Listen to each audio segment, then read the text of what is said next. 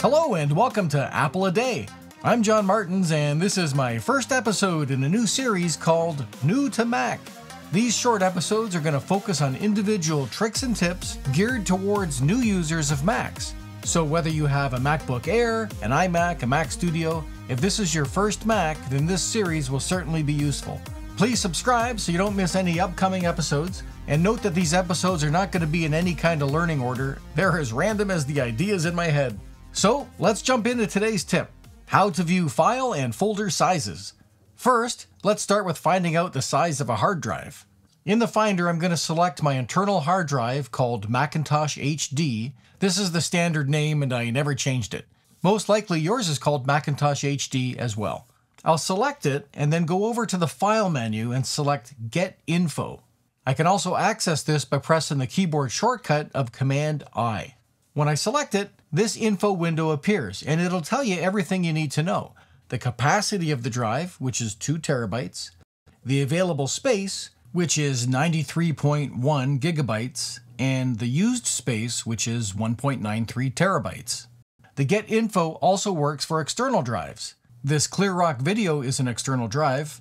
I'll select it and press the keyboard shortcut of Command I to view the info window. And here again, I can see the capacity and the available space and the used space. This also works for looking at folders. I'll select this folder on my desktop, named Desktop Stuff. I'll press Command I, and this window is slightly different. I don't have a capacity value or an available space value because it's not a drive, it's just a folder. But I do have the size of this folder, and it's 42.39 gigabytes. You can also use the Get Info on a file as well, and it will tell you the size of that file. So now let's look at the Finder window.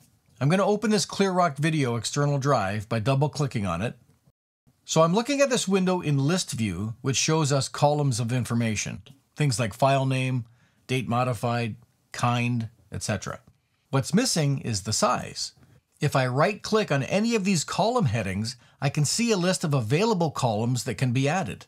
I'm going to select size. And now we can see the size of all of the files in this list. But notice that the folders don't display their size. Well, that's because it's an option and it's turned off by default. Most likely that's because it can sometimes slow things down if it has to calculate the sizes of large folders. But if you want to turn it on, go to the View menu and select Show View Options. And when the View Options window appears, near the bottom, turn on the option to Calculate All Sizes. Once I check that and close the window, you'll see that all of the folders now show their sizes. For myself though, I'm going to turn this feature off because I don't really need it. I'll open up my view options, but this time I'm going to use the keyboard shortcut Command J, and then I'm going to uncheck Calculate All Sizes and close the window.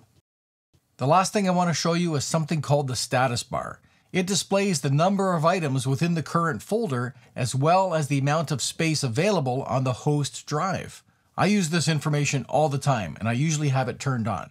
So to turn it on, go to the View menu and select Show Status Bar. The keyboard shortcut is Command forward slash, and more often than not, I have hit this keyboard combination by accident and then turned off the status bar.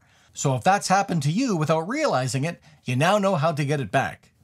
So you can see the status bar appears at the bottom of the window and it says 39 items, and I have 32 gigabytes available. That's the amount of free space on the ClearRock video drive. I'll open up one of these subfolders by double clicking on it. When this folder opens, it says I have nine items, but the available space still reflects the host drive. It's still showing me what's on the ClearRock video drive.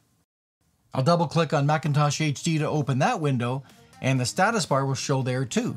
It says I have over 92 gigs left on that drive. So this is super useful to have on because you can always see how much space you have left. It's even more useful if you're operating that close capacity like I seem to be doing. So that's all I had for today. I hope you found this helpful. My name's John Martins. Please like, subscribe, and comment, and let me know if there's something you'd like me to cover in a future tutorial. Thanks for watching, and I'll see you in the next episode of Apple a Day.